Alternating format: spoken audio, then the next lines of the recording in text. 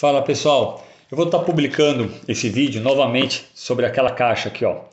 Esse final de semana eu fui no stand, publiquei o vídeo eu comprando essa caixa, eu estou com ela de novo porque eu não usei a munição. Eu já tinha levado mais de 300 tiros, então tá aqui. Eu não tinha por que comprar essa munição, eu comprei por dois motivos. Um, para mostrar para vocês, burocracia zero. Vocês viram, deu o cartão de débito na hora, a pessoa me entregou, não pegou nem meu documento.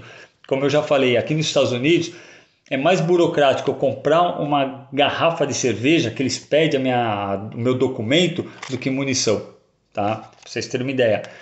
E outro, pelo valor, aqui ó, 29. Tá? Eu, tô, eu tô gravando esse vídeo porque uh, que o lote 2013, justamente por causa disso aqui, tá?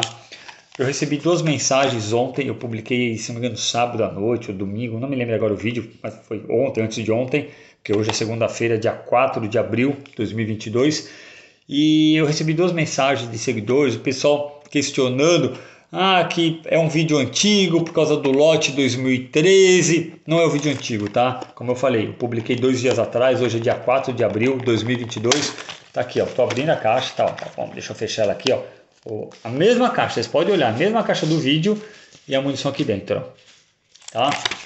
Então, não é um vídeo antigo, não é mesmo. Uh, eu realmente eu não sei por que uma munição dessa aí a CBC vende muito caro. Não é imposto, tá pessoal? Não é. Se eu pegar esse valor aqui e colocar vezes 5, vamos colocar convertendo dólar 5 e arredondar para 30, porque a no meu extrato bancário, essa munição eu paguei 30 dólares e pouquinho por causa do imposto. Foi 1 dólar, 1 dólar e 50 mais ou menos de imposto apenas, tá? Então, se eu pegar esse valor 30 dólares, multiplicar em 5, 150 reais, essa mesma caixa, acredito eu, está sendo comercializada aí no Brasil por mais de 600 reais. Então, não é imposto, tá pessoal? É preço abusivo mesmo. É preço abusivo, não é imposto. Tá aqui, ó, a caixa. Tá bom, pessoal? Valeu e até a próxima.